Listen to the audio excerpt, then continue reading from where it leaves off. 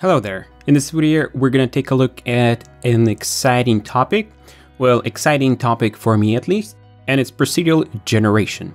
So this is part of my Bolt unit demos. And in this demo, I'm going to be showing how to use for loops and some other units that I already did videos on to create a procedurally generated plane. The demo is going to be very basic, but you can expand on this knowledge. This time I decided to start with a clean scene, so have nothing here yet. And all we need is to create an empty object. We'll reset the position of it and let's call it generate. In this game object, we will add a flow machine. I'll use embedded. So right here, I have prefabs and these prefabs are just 3D planes that have different material on it and I want to create a plane using these prefabs. So let's select our game object and click on full screen. And let's start creating a procedurally generated plane. I'll be generating a plane on start, so we're not gonna need the update event. For start, let's just generate a single line. And for that, like I mentioned, I'll use the for loop. So right here, we have a for loop and in this for loop, we can specify how much times this for loop is going to run. The default right here is 10, so this loop is going to run 10 times. Each time the for loop runs, it's going to trigger the body flow. After the for loop finishes running, it's going to go to the exit. To create a game object from a prefab, we can use instantiate. So right here, we can find game object and use the instantiate.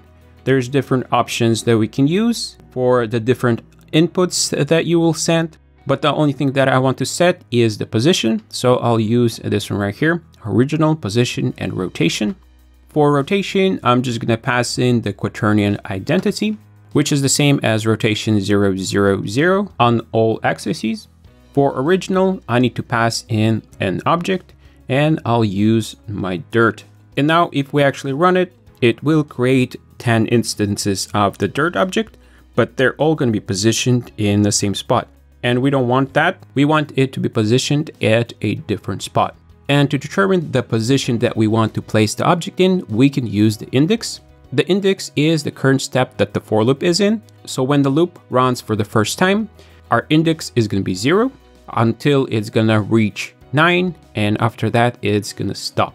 So we need to pass in a vector three for a position. And let's create a new vector three. And with this new vector3 unit, we can pass in a specific value for each of the axes. Let's go ahead and adjust the x-axis.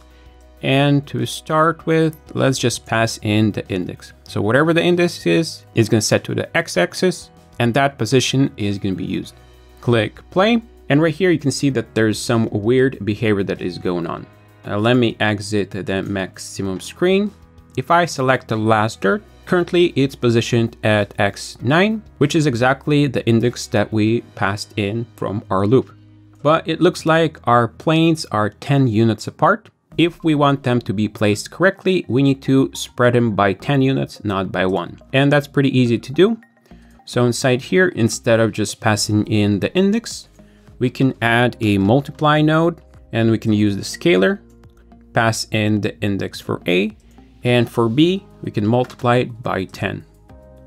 Exit full screen, click play, and there you go. That looks much better. The planes start from zero and they move to the side. If you want to, you can shift them to the side by 50 units, so it'd be more centered.